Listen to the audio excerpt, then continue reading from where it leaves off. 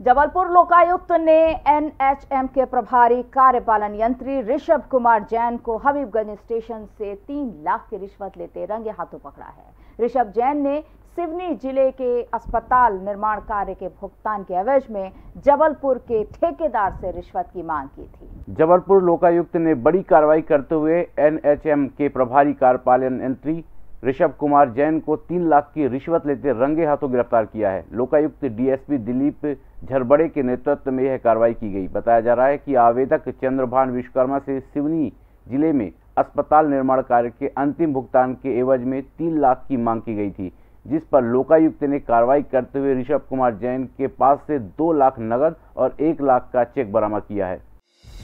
संगीत की स्वर लहरियों से। सांस्कृतिक ताने बाने तक।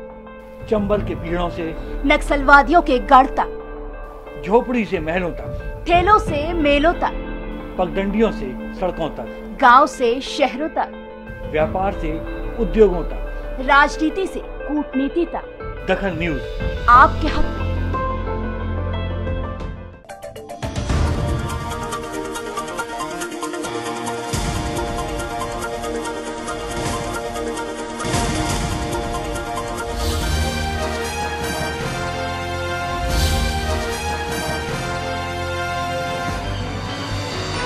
आप देख रहे हैं दखल न्यूज़।